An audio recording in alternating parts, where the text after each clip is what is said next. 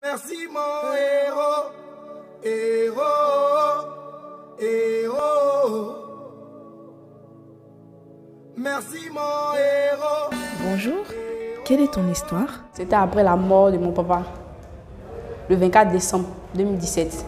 Donc après ça, je suis revenue sur Boaké. Il y a mon chéri qui m'a dit que, ah, actuellement où il est arrivé, il a besoin d'un enfant. Oh, puisque c'est lui qui faisait tout pour moi.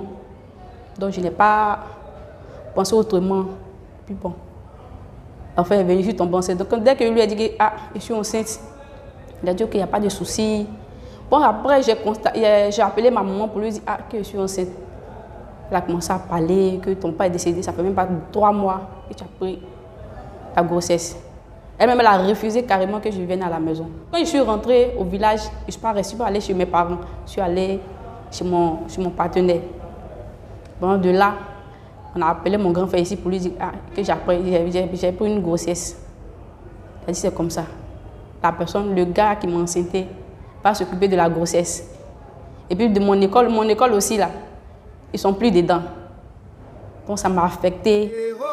Qui est ton héros? Avec mon chéri. Puis quand j'ai accouché, c'est lui-même qui est venu m'inscrire encore à l'école ici, pour mes cours.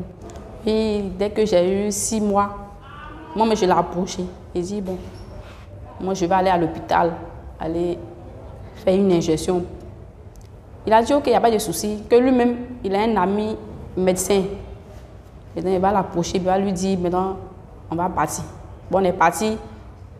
On allait faire son test, j'ai fait mon test. Ils ont fait les bilans, tout, tout, tout, tout. Puis bon, j'ai fait l'injection. avec la méthode, je me sens très bien. Parce que j'évite beaucoup de risques. Quel est ton message?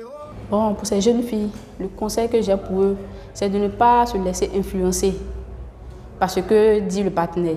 L'enfant peut venir après. Parce que tu peux te mettre dans l'erreur pour dire, ah, mon partenaire veut ceci, il veut cela. Tu vas te mettre de son côté. Et demain, et si tu prends la grossesse et que le gars ne peut pas s'occuper de toi, tu fais comment?